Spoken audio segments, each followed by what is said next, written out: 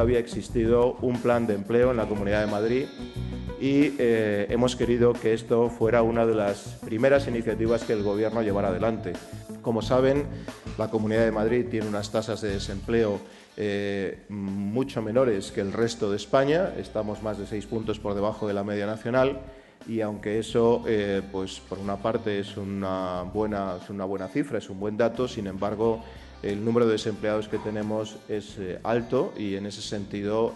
todos los esfuerzos que hagamos son pocos para conseguir acabar con esa tasa de desempleo. Creo que estas líneas de trabajo van a ser las que nos van a permitir en los próximos eh, meses tratar de paliar esta eh, situación tan complicada que tiene nuestro país, que es el desempleo y que, eh, sin duda alguna, tiene que ser una de las prioridades de la acción de, de Gobierno para conseguir salir de la crisis. No hay mejor manera de salir de la crisis que generando confianza, crédito e inversión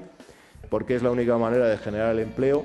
y a través de eso pues poder recuperar la senda de crecimiento que todos queremos. Y el objetivo que tenemos es poder cerrar un acuerdo marco en, este, en esta línea, en esta dirección, que en su caso lo tendríamos que someter a la consideración del Consejo de Madrid en los próximos días, donde ya daríamos eh, carta de naturaleza al plan eh, que entendemos que sea necesario llevar adelante para mejorar el empleo en nuestra región.